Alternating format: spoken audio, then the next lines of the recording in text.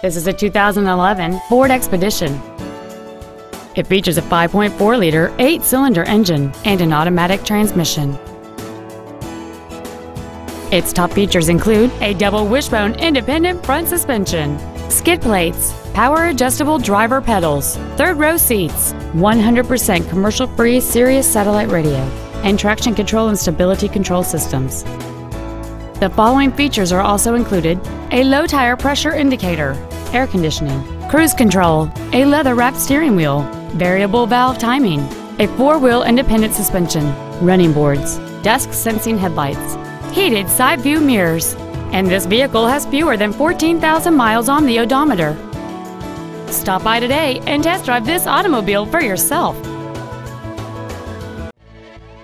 Helfman Ford is dedicated to doing everything possible to ensure that the experience you have selecting your next vehicle is as pleasant as possible.